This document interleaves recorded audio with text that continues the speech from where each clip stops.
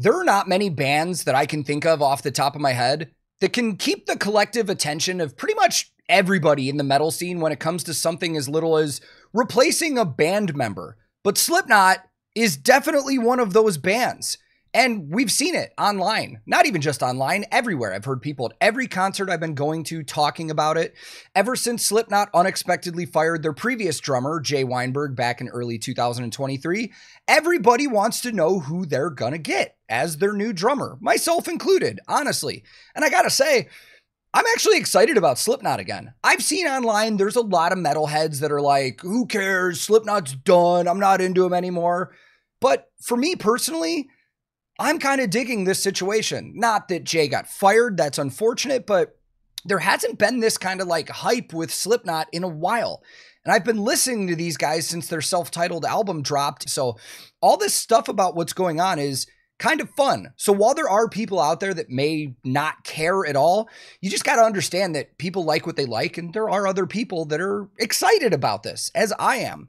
Now, we've had a lot of clues to who the new drummer is going to be. And I'm pretty sure we can say, without a shadow of a doubt, it's Eloy Casagrande, even though, again, we haven't gotten that official announcement. Now, in this video, I'm going to cover some things that have happened over the last 24 hours because just shortly before I'm filming this, Slipknot just played their first show with their new drummer. And that first show was wild, man. It was at a little place called Pappy and Harriet's out in Southern California. If I understand it right, it was like 800 capacity. It was announced pretty short. I mean, well, with not a lot of time ahead of it. But the cool thing about this, and this is something that I think people in the music industry can take notes of, the tickets were super cheap because they just wanted fans to have a cool experience, but they were also non transferable meaning they and their team probably understood people would buy these tickets and resell resale resell them and scalp them and they eliminated that. So that makes me think like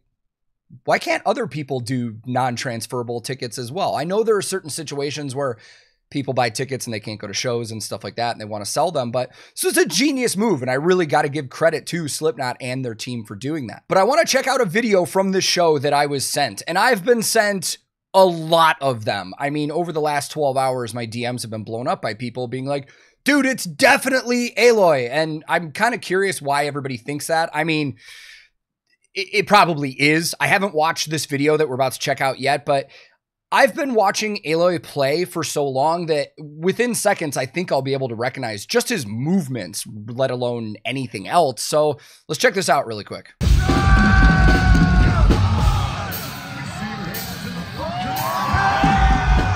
Yeah, 100%. You can tell just the way he does that fill leading in, how high he lifts his arms up like this to like that. That is 100% Eloy just from watching him there. Now, of course, I didn't show the rest of what I watched because I don't want this video to get copyright claimed to hell and back. But there is one other moment of this that is a pretty dead giveaway. When the double bass part here kicks in, pay attention to the tom fills that are going on.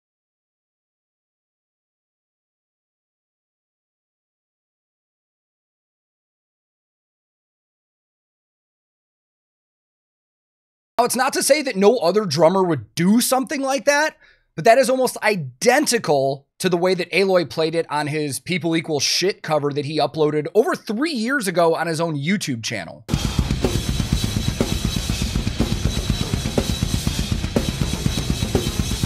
So for me personally, that's all I need to see. Just just from watching a little bit of that video and seeing the movements and stuff like that, it is 100% Eloy Casagrande. There's no way it's anybody else. Like, I, I, was about to just say, like, if it is somebody else, but it's not. It's 100% Eloy. I think we all know that. And if you don't know that, or if you do have a doubt, here's a couple other things that have come up. The website that popped up that was kind of serving as their promotional marketing for their 25th anniversary of the self titled album had a bunch of cool information in there. Well, somebody on Reddit posted, well, it has since been deleted by Reddit, which I find crazy the only thing I could think of is that Slipknot's lawyers or somebody got involved and said this needs to be scrubbed from the internet. But I really don't know why at this point because the mystery has been fun for everybody. But either way, somebody revealed the source code. I'm saying this in a super simple way. I don't know anything about how you get source code and stuff on the internet, but somebody on a computer found the source codes for the images on the website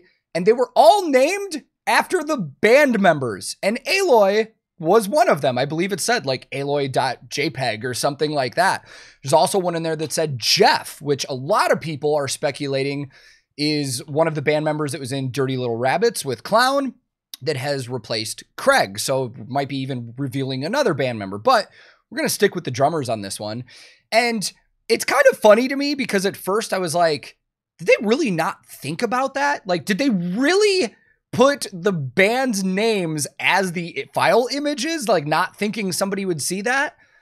And I don't want to think that the band or their website designers are that dumb, like, but this is also the band that revealed their, you know, new bass player by not thinking about covering his tattoos in his first music video and performance. But I don't know, man. There are some times where I, I actually want to give Slipknot credit. Like they may actually have thought about this stuff because if I remember right from that promotional website, there was like a little tagline in quote somewhere that said something similar to, but not exactly like the answers are all around you if you look or something like that. So the file names could have been an intentional thing just to reveal the secret and people be like, oh.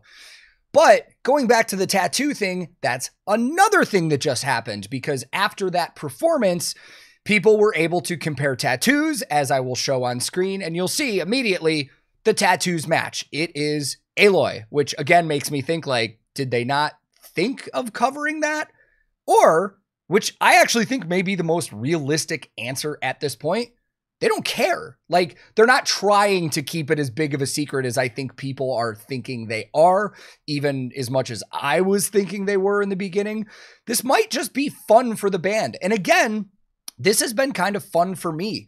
Looking up more information, we see they're going to really be celebrating the 25th anniversary of the Slav.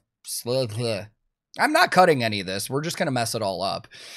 They're celebrating the 25th anniversary of their self titled album, which for a lot of people in the metal scene is a goaded album. It was a game changer.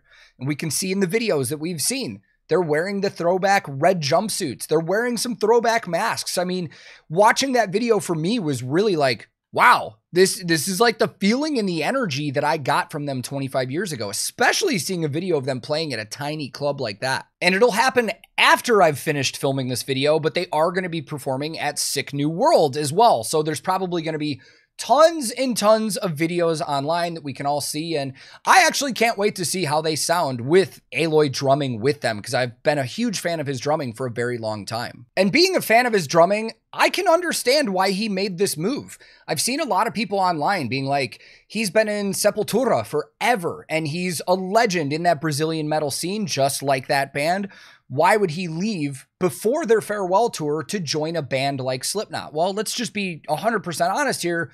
Slipknot is way bigger than Sepultura ever is and was worldwide. I mean, Sepultura in their own right is a massive legendary band, but for somebody like Eloy, who, if I'm not mistaken, is in his early 30s, this may not be something that lasts the rest of his career. This could just be another thing on his resume that when Slipknot gets to the point when they're done, or if they decide to be done, he could move on.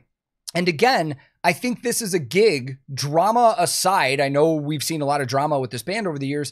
This is a gig that I think anybody would kill to be in any one of their shoes. I mean, you're going to go down as being a member of one of the most legendary metal bands ever. I mean, up until Slipknot's self titled album came out and then Iowa, we never saw a band this heavy really hit the mainstream this hard. Again, as I said earlier, it was game changing. And having somebody with the groove and the chops that Eloy has, this may add a new element to Slipknot. I believe when I was watching that video, I noticed that some of them are now wearing in ears, like in ear monitors. And I don't think that's something that Slipknot has ever really done. I know they never used tracks.